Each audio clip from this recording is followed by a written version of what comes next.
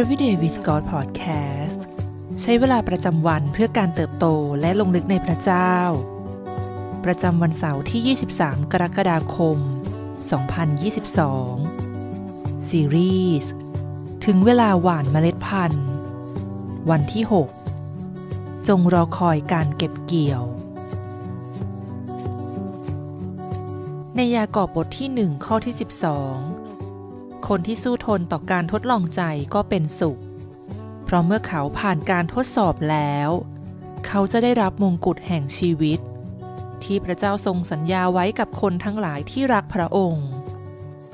ในทุกๆ4ปี ชาวโลกต่างคาดหวังและรอคอย เฝ้าดูตัวแทนนักกีฬาจากประเทศของตน เข้าร่วมการแข่งขัน เพื่อชิงเหรียญทองในกีฬาโอลิมปิก ในโอลิมปิกปี 2016 ที่เมืองริโอ มีผู้ชมมากกว่า 3.6 พันล้านคน คิดเป็นเกือบครึ่งหนึ่งของประชากรโลก เรื่องราวเส้นทางสู่การเป็นแชมป์ในกีฬาโอลิมปิกนั้น ได้เป็นเรื่องบันดาลใจให้กับเราทุกคน เพราะพวกนักกีฬาต้องเตรียมตัวฝึกซ้อมอย่างหนักทั้งปี เพื่อช่วงเวลาสำคัญนี้สำหรับบางคนอาจเป็นการแข่งขันวิ่งมาราธอนหลายชั่วโมง บ้างก็อาจเป็นการแข่งขันที่ใช้เวลาไม่ถึง 10 วินาทีด้วยซ้ำ แต่นักกีฬาส่วนใหญ่มักจะพูดเป็นเสียงเดียวกันว่า มันช่างคุ้มค่าจริง ๆ ที่พวกเขาได้เข้าร่วมการแข่งขันนี้ แม้จะเต็มไปด้วยความยากลำบากก็ตาม แม้เราเองจะไม่ได้เตรียมตัวเพื่อแข่งขันในกีฬาโอลิมปิก แต่เราก็อาจจะเข้าใจถึงความมุ่งมั่น ความเจ็บปวด และความพยายามที่ต้องเผชิญ กว่าจะมาถึงจุดที่เรายืนอยู่ในวันนี้ได้ ช่วงเวลาที่ยากที่สุดมักจะเป็นกระบวนการการหล่อหลอมและปั้นแต่ง เพื่อเตรียมเราให้พร้อมสำหรับสิ่งที่พระเจ้าได้ทรงเรียกให้ทำเราอาจเจอกับความทุกข์ใจ อาจต้องละทิ้งความฝันบางอย่าง หรือแม้ต้องเสียสละบางสิ่งไประหว่างทาง ในกระเทียบทที่ 6 ข้อที่9นุนใจเราให้มุ่งไปข้างหน้า ดังที่กล่าวไว้ว่า อย่าให้เราเมื่อยล้าในการทำดี เพราะว่าถ้าเราไม่ท้อใจแล้ว เราก็จะเก็บเกี่ยวในเวลาอันสมควร อาจมีช่วงเวลาที่เรารู้สึกเหนื่อย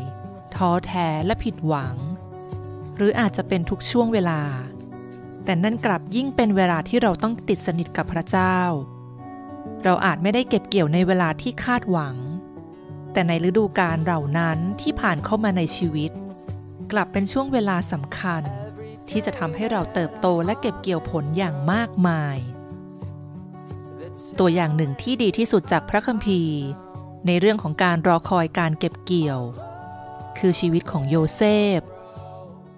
หลังจากถูกพวกพี่ชายขายเป็นทาสถูกกล่าวหาใส่ร้ายและต้องถูกคุมขัง แต่ภายหลังฟาโรห์ไว้ใจเขา และให้ปกครองอยู่เหนือประเทศอียิปต์แม้ว่าจะต้องใช้เวลาหลายปีกว่าจะได้เก็บเกี่ยวผล แต่พระเจ้าทรงใช้เรื่องราวของโยเซฟเพื่อการดี และช่วยชีวิตผู้คนมากมาย ในปฐมกาลบทที่ 50 ข้อที่ 20 พวกท่านคิดร้ายต่อเราก็จริง แต่ฝ่ายพระเจ้าทรงดำริให้เกิดผลดี ดังที่เป็นอยู่วันนี้ คือช่วยชีวิตคนเป็นอันมาก เมล็ดพันธุ์บางชนิดที่เราหว่าน อาจจะเกิดผลเร็วกว่าเมล็ดอื่น และบางเมล็ดพันธุ์อาจต้องใช้เวลาหลายปีกว่าจะได้ผลผลิต อย่างไรก็ตาม เราต้องวางใจพระเจ้าในตลอดกระบวนการ เพราะในสถานการณ์ทั้งดีและร้าย จะช่วยหล่อหลอมให้เราเป็นผู้นั้น ที่พระเจ้าทรงเรียกตามแผนการของพระองค์และถ้าเราจดจ่ออยู่ที่เป้าหมายปลายทางมากเกินไป เราก็อาจพลาดบทเรียนสำคัญที่พระเจ้าทรงกำลังสอนในระหว่างการเดินทาง ในฮีบรูบทที่ 10 ข้อที่ 36 ท่านทั้งหลายจำเป็นต้องมีความทรหดอดทน เพื่อท่านจะสามารถทำตามพระทัยของพระเจ้าได้ แล้วท่านก็จะได้รับสิ่งที่ทรงสัญญาไว้นั้น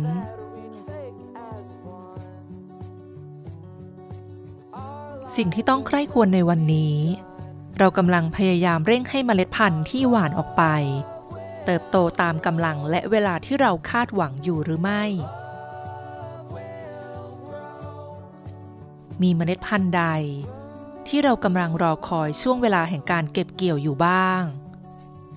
ขอพระเจ้าทรงช่วยเรา ให้ได้อดทนรอคอยด้วยความหวังและความชื่นชมยินดี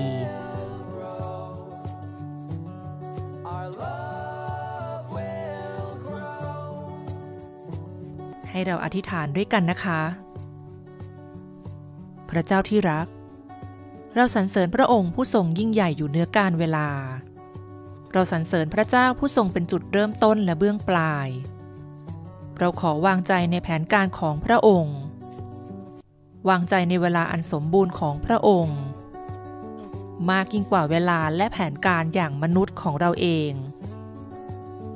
ขอทรงช่วยเรา ให้ได้วางใจในพระองค์โดยไม่สงสัย ให้เราได้เรียนรู้ที่จะเชื่อฟัง และรอคอยด้วยหัวใจที่เปี่ยมด้วยความหวัง และความชื่นชมยินดี